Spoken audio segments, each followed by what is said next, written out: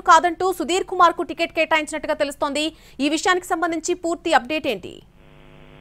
నన్ను ఎటకేలకు వరంగల్ లోక్సభ బీఆర్ఎస్ అభ్యర్థితో మాత్రం చర్చించింది వరంగల్ లోక్సభ బీఆర్ఎస్ అభ్యర్థిగా కాసేపటి క్రితమే బీఆర్ఎస్ అధినేత కేసీఆర్ హన్మకొండ జిల్లా ప్రస్తుతం జడ్పీ చైర్మన్గా ఉన్నటువంటి సుధీర్ కుమార్ను ప్రకటించడం జరిగింది. అయితే అంటే గత కొన్ని రోజుల క్రితము మొదట బీఆర్ఎస్ ఎంపీ టికెట్ కడియం కావ్యకు ప్రకటించగా శేషన్ గన్పూర్ ఎమ్మెల్యే కడియం పియరి ఆయన కూతురు కాగా ఇద్దరు కాంగ్రెస్ పార్టీలో చేరడంతో తిరిగి ఆ వరంగల్ లోక్సభ మీద బీఆర్ఎస్ అభ్యర్థిని ఎన్నుకోవడానికి కేసీఆర్ కేసీఆర్ సమావేశం పెట్టాడు. ఈ సమావేశానికి కాసేపటి క్రితమే ఇటు మాజీ మంత్రి ఎర్రబెల్లి అదేవిధంగా జనగామ ఎమ్మెల్యే పల్ల రాజేశ్వర్ రెడ్డి ఆ ఎమ్మెల్సీ ఎమ్మెల్సీ బండా ప్రకాష్ అదేవిధంగా మాజీ స్పీకర్ మధుసూదనాచారి కాసేపటికి కాసేపటి క్రితమే ఎర్రవల్లిలోని ఫామ్ హౌస్కి వచ్చారు. అయితే వస్తున్నటువంటి సమయంలో ఒక్కసారిగా కూడా అప్పటి వరకు సుధీర్ కుమార్ పేరే వినిపించింది. ఆ తర్వాత ఒక్కసారిగా కూడా తాటికొండ రాజయ్యకు కేసీఆర్ నుంచి పిలుపు రావడంతో టికెట్ తనకేనని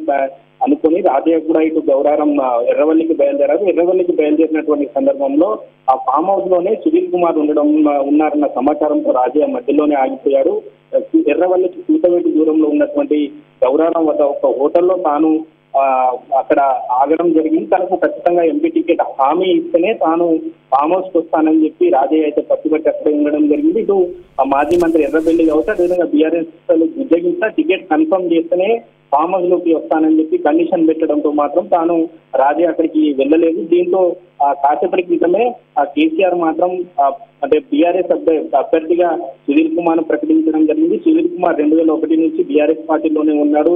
ఆ బీఆర్ఎస్ పార్టీలో ఉద్యమకారునిగా ఉంటూ తాను ప్రస్తుతం అయితే హన్మకొండ జిల్లా జడ్పీ చైర్మన్గా అయితే ఉన్నారు. అతను మాదిగ సామాజిక వర్గానికి చెందిన వాడు కావడంతో కాసేపటి క్రితమే కేసీఆర్ అయితే తన పేరు పేరును ప్రకటించారు. తన పేరును ప్రకటించడంతో టికెట్ ఆశించినటువంటి తాటికొండ రాజయ్య కాసేపటి క్రితమే గౌరవెల్లి హోటల్ నుంచి ఏం మాట్లాడకుండా తాను కూడా నిరాశగా వెనుదిరగడం జరిగింది మరి.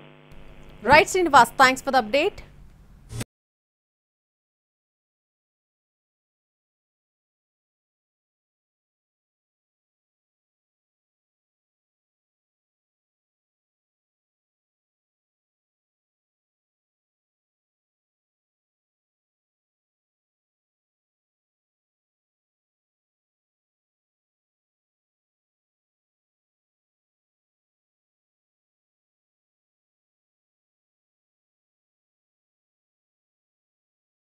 పేరును కూడా పరిశీలించినట్టుగా సమాచారం. అయితే అందరి అభిప్రాయాలు తీసుకున్న తర్వాత సుధీర్ కుమార్ను అభ్యర్థిగా నిర్ణయించారు కేసీఆర్.